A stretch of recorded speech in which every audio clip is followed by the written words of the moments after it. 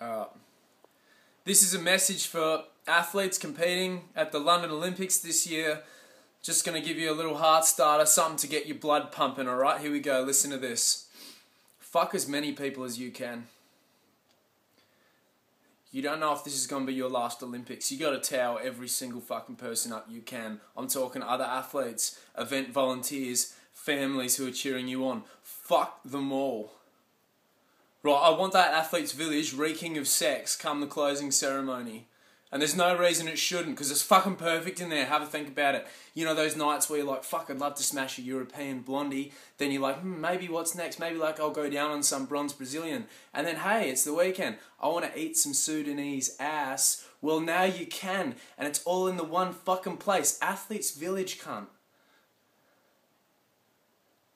Here's what your priorities have to be. Seriously, this is your priorities, okay? Fucking fuck people.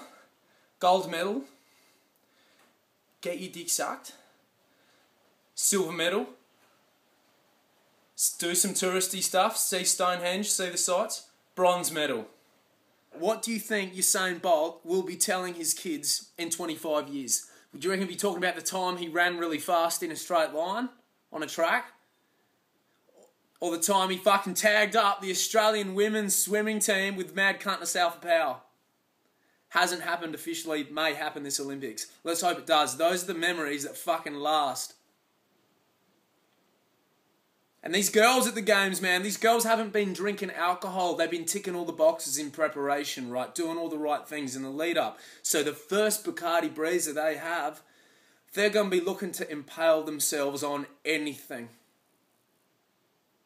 Doesn't matter if you're some old equestrian cunt who's at his 19th games or you're a Nigerian fucking marathon runner whose dick is as thick as his thigh. Everyone's a chance.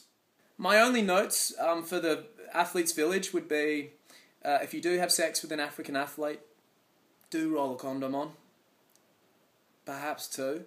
Uh, the other one would be um, oh, if you fuck some chick, if you knock some chick up, chill out. Who the fuck cares? Just have a joint and relax because it's going to be a fucking mad athlete.